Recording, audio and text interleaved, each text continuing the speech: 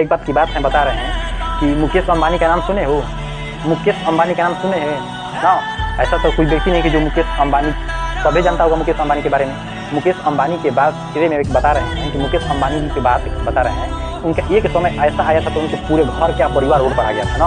उनके पॉकेट में क्या था? सिर्फ़ डेढ़ सौ रुपया थी। मुकेश अंबानी के पॉकेट में कितना था? सिर्फ़ डेढ़ सौ रुपया था। कितना था तो डेढ़ सौ रुपया, खाली डेढ़ सौ रुपया था, ना? उनने एकदम दिमाग लाया कि डेढ़ सौ रुपया में अपने परिवार को हम कैसे जिलाएँ, ना?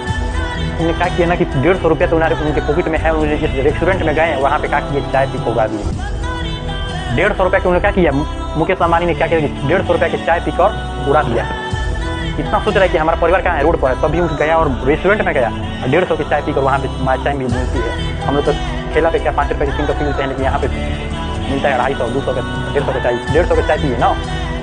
चाय पिए, डेढ़ सौ का चाय पी लिए।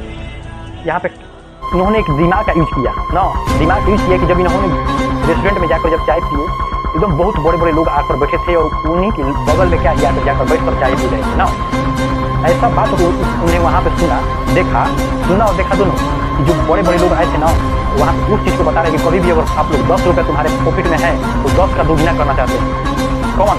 जो बड़े बड़े लोग बैठे हैं, मुकेश अंबानी जी के बगल में जो बड़े बड़े बैठे हैं, वो सोच रहे हैं कि दस रुपये के दोगुना करें, ना कि उसमें ऐसा काम करे कि उस दस रुपये के क्या किफायत दो रुपये मिले और आठ रुपये फंस जाए। ऐसा कभी बड़ व्यक्ति कभी नहीं समझ करता है। ना?